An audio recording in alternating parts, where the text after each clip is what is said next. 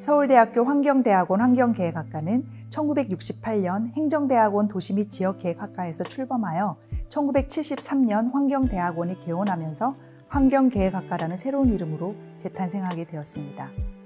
이후 도시 및 지역계획학 전공, 교통학 전공, 환경관리학 전공, 도시사회혁신 전공 등 시대의 필요와 학문적 선도 역할에 부응하여 4개의 세부 전공을 가진 학과로 성장했습니다. 환경계획학과는 도시, 환경, 사회 혁신, mobility라는 의제를 중심으로 다양한 연구와 교육을 실험하고 융합하는 플랫폼과 같은 역할을 하는 곳입니다. 이러한 플랫폼은 분야를 넘나드는 융합과 이를 통한 혁신적 아이디어의 창발이 일상적으로 일어나는 곳이죠. 이것이 가능한 이유는 18분의 교수진이 도시계획은 물론 공학, 자연과학, 사회과학을 아우르며 특정 학문의 경계에 갇혀 있지 않으며 학생들의 전공과 배경의 다양성이 유지되고 있기 때문입니다. 이러한 다양성 속에서도 학문적 수월성이 담보될 수 있는 이유는 선의의 경쟁, 공정한 기회, 수평적인 의사소통이 작동하기 때문이라고 생각합니다.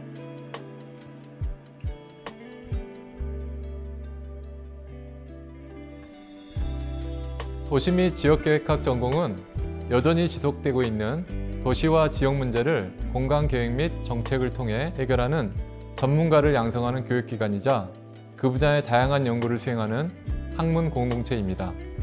최근에는 도시 불평등과 사회적 배제의 심화에 따라 어려움을 겪고 있는 도시 빈민, 장애인, 청년, 여성 등 사회적 약자의 역량을 강화하고 삶의 질을 높이는 도시를 만드는 데 큰 관심을 가지고 있습니다. 또한 인구 감소로 소멸 위기에 있는 지역의 재활성화와 지역 균형 발전에 관한 연구도 많이 수행하고 있습니다. 저희 연구실은 현대에 들어 가장 큰 화두로 등장했죠. 도시 내 주거 문제, 그리고 저렴주택 관련 연구부터 청년들의 일자리, 교통약자 모빌리티와 같이 다양한 도시사회 문제를 발굴하고 그 대안을 제시하고 있습니다. 어, 이러한 연구를 위해서 양쪽 자료를 기반으로 한 통계 분석뿐만 아니라 질적인 자료 분석, 그리고 최근엔 빅데이터 분석 같이 트렌디한 방법론도 적극적으로 활용하고 있습니다. 교통학 전공은 우리나라 최초로 교통학 커리큘럼을 만든 곳입니다. 지금은 새로운 시대적 요구를 반영하여 교통학의 기초 교과목인 교통계획, 교통공학, 물류체계를 이론부터 실제까지 깊이 있게 강의하는 동시에 교통과 관련된 인공지능의 기초 및 적용에 대해서도 배우고 있습니다. 최근에는 자율주행차, 드론 등 새로운 모빌리티 기술 혁신을 교육하기 위해 smart mobility 과목도 개설하였습니다.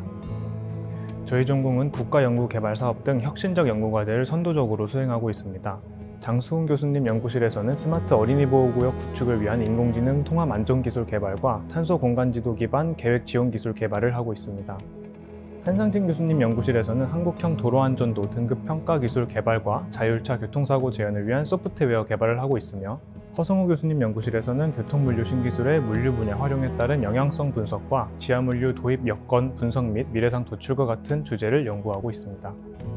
기후 위기와 탄소 중립은 시대적 과제이자 국제사회 규범으로서 모든 학문 분야에 관심과 참여를 요구하고 있습니다. 환경관리학 전공은 이 분야의 핵심 전공으로서 지속가능한 미래를 위한 탄소 중립 교육과 연구를 수행하고 있습니다. 우리는 기후변화 문제의 근본적인 원인을 규명하고 해결 방안을 제시하기 위해 사회과학, 자연과학, 공학을 통합적으로 학습하여 융복합적인 시선으로 해결 방안을 탐구합니다. 이처럼 환경관리학 전공은 지속 가능성과 탄소 중립을 향한 끊임없는 노력을 통해 지구 환경의 안정과 조화로운 발전에 기여하는 그러한 전문가를 양성하는 데 그 목적을 두고 있습니다. 저희 연구실에서는 기후변화의 원인과 영향을 과학적으로 밝히기 위한 연구를 진행하고 있습니다. 저는 대기 모형을 이용하여 인공위성 자료로 전지구 온실가스 flux를 검증하는 연구를 진행하고 있는데요. 이렇게 상당수가 자연과학 기반의 연구를 하지만 환경대학원에서는 경제사회 분야의 전문성을 가지고 탄소 중립 연구를 진행하시는 분들도 많습니다. 이런 환경이 연구에 대한 다른 관점에서의 insight를 제공해주기도 하고 자연스럽게 어떤 연구가 사회에 필요할까를 고민할 수 있게 해주는 것 같습니다. 기후위기, 생물 다양성 파괴, 극빈과 기화, 불평등 심화 등 인류가 직면하고 있는 사회 영역의 문제는 갈수록 그 범위가 넓어지고 심각성 또한 깊어지고 있습니다. 이러한 사회 문제를 국제사회가 함께 식별하고 정리한 것이 바로 지속가능 발전 목표 SDG, Sustainable Development Goal입니다. SDG에서 다루고 있는 사회 문제들은 시장 실패 또는 정부 실패로 인해 발생하는 경우가 많습니다. 불완전 경쟁, 재화의 공공재적 성격, 시장 가격에 반영되지 않는 비용 편익으로 인해 발생되는 외부 효과, 역선택과 도덕적 해이를 야기하는 정보 비대칭성 등으로 시장 실패가 발생하는데 기후 변화와 같은 환경 문제는 외부 효과로 인한 시장 실패의 대표적 사례입니다. 이러한 시장 실패를 정부가 적절하게 개입하여 교정해야 하는데 오히려 정부 개입으로 문제가 더 악화되는 정부 실패 사례도 빈번합니다. 환경대학원의 도시사회 혁신 전공은 공공민간 협동개발, 시민 참여와 갈등 관리, 사회적 경제, 사회적 기업과 social venture 창업, ESG, living lab 등의 수업을 통해 우리 시대가 직면한 다양한 사회 문제들, 즉 SDGs의 원인을 정확히 분석하고 혁신적인 해결 방안을 제시할 수 있는 사회혁신 전문가를 양성하는 과정입니다. 안녕하세요. 저는 proptech 스타트업 지오딕트에서 일하고 있는 송민입니다. 제가 환경대학원 도시 및 지역계획학 전공을 선택했던 이유는 이곳에서 도시를 바라보는 다양한 관점을 배울 수 있으리라 기대했기 때문입니다. 다양한 관점으로 도시를 바라볼 때 우리는 우리가 살아가는 도시를 더 폭넓게 이해하고 포용할 수 있게 됩니다. 환경대학원은 그 특성상 다양한 백그라운드를 가진 사람들이 함께 모여 고민하고 연구를 진행합니다. 우리가 사는 도시만큼이나 다채로운 사람들이 모인 환경대학원에서 다양성의 도시, 포용의 도시를 위해 함께 고민하며 여러분의 꿈의 폭을 더욱 넓혀가시길 바랍니다. 안녕하세요. 1등 협업 tool 잔디를 서비스하는 토스랩 대표이사 김대현입니다. 환경대학원은 한마디로 견문을 넓히고 내가 좋아하는 일을 알게 해줄 수 있다고 생각합니다. 제가 졸업하고 IT 회사의 대표가 된 것은 사실 다른 길 같지만 그 출발점은 환경대학원 내 교통 시뮬레이터를 개발하면서부터였습니다.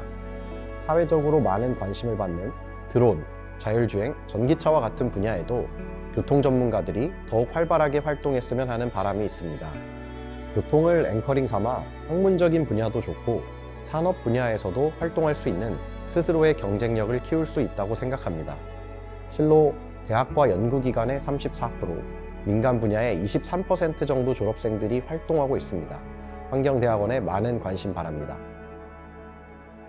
안녕하세요. 녹색에너지 전략연구소에서 에너지 정책을 연구하는 졸업생 임현지입니다. 환경관리학 전공에서는 기후변화, 탄소 중립, 지속 가능성 등 다양한 환경 이슈를 배울 뿐만 아니라 경제, 사회적 측면까지 폭넓게 고려하여 해결 방안을 도출하는 훈련을 하게 됩니다. 저에게 환경대학원에서의 학업은 탄소 중립과 에너지 전환을 바라보는 스스로의 시각을 정립해 나갈 수 있는 아주 뜻깊은 시간이었는데요.